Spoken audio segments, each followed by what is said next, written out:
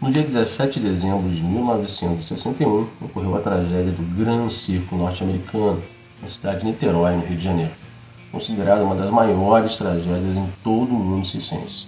Nesse incêndio morreram mais de 500 pessoas, a maioria crianças. Na antevéspera do Natal, seis dias após o acontecimento, José acordou, alegando ter ouvido vozes astrais, segundo suas próprias palavras, que mandavam abandonar o mundo todo o mundo material e se dedicar apenas ao mundo espiritual. O profeta gentileza. Sim, meus queridos, gentileza gera gentileza? Bom, não esse gentileza.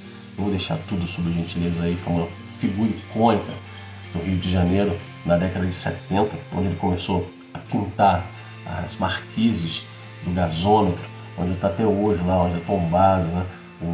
As suas frases, as suas ideias até hoje ainda pode ser visto algumas restauradas, outras infelizmente perdidas pelas obras do Rio, por pichações ou por N fatores diferentes. Se perderam algumas frases do gentileza. Mas esse andarilho, esse, esse, essa figura folclórica, pode dizer folclórica do Rio de Janeiro, deixou sua marca na cidade, dizendo que gentileza gera gentileza. Logo depois do acidente do circo. Né? Ele foi lá, ele plantou um jardim mais cinzas do, do que sobrou do circo, ele chegou a morar nesse lugar, ele plantou horta nesse lugar. E ele foi um cara que levou um pouco de, de afeto e carinho para as vítimas, né? Pra, não para as vítimas, para os sobreviventes e para os familiares das vítimas que se perderam nesse incêndio do Gran Circo, né? lá em Niterói. Bom, mas o vídeo não é sobre isso. Isso aqui só abre o vídeo falando do profeta gentileza. Mas gentileza gera gentileza.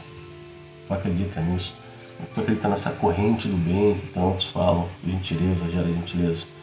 Não, meu amigo, gentileza não gera gentileza. Gentileza, ela deve existir todo ser humano.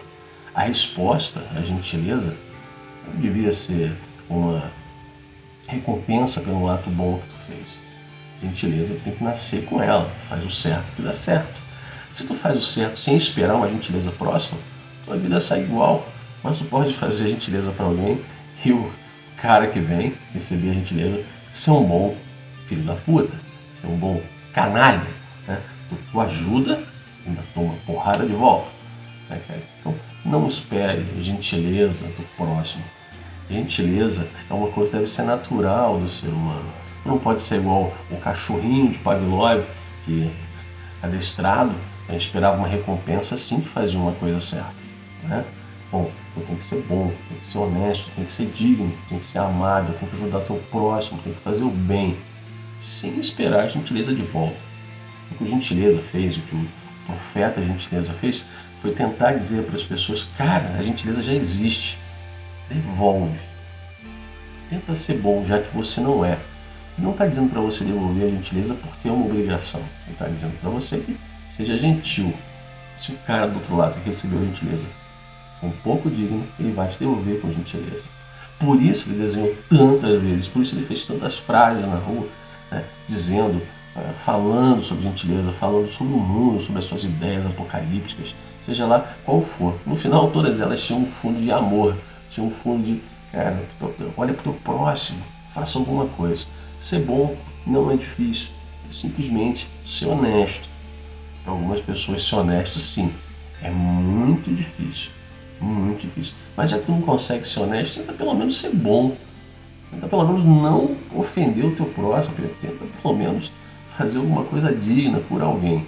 Não adianta tu sair por aí batendo no peito dizendo que é bom pra caralho, dizendo que tu é, eu sou o bichão, eu sou o cara, mas tu não consegue fazer uma gentileza, tu não consegue ser agradável, amável. E por que, que eu estou falando isso no canal de história?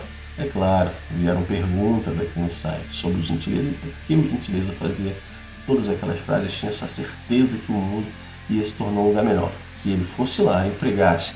Bom, além de historiador, sou um apaixonado também pela psicologia, sou um apaixonado pela antropologia. Tá? Eu tenho uma especialização em antropologia e logo um carinho pelas ideias e pelo ser humano.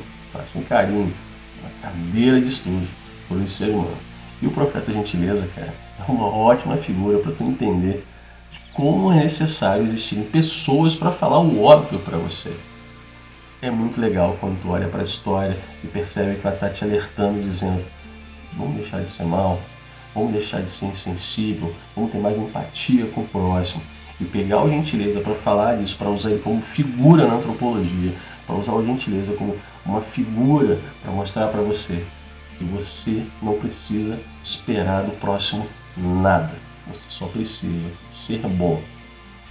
Sim, se todo mundo tivesse um pouquinho de bondade, a frase do gentileza talvez pudesse ser apagada das colunas, né, dos pilares tá, do gasômetro no Rio de Janeiro né, e até das plaquinhas que vendem tudo quanto é barraquinha de cidade. Né? Aqui do Rio de Janeiro, gentileza, gentileza, sempre tem a tua. Pode levar isso como regalo se tu vem ao Rio de Janeiro, conhecer o Rio, tem lá, pode levar, é bonito, eu tenho aqui em casa, pena que não está aqui, já está encaixotado. Mas gentileza não gera gentileza. Não é essa que tu conhece. Está dizendo para você, faça gentileza, sem esperar, gentileza, simplesmente seja bom.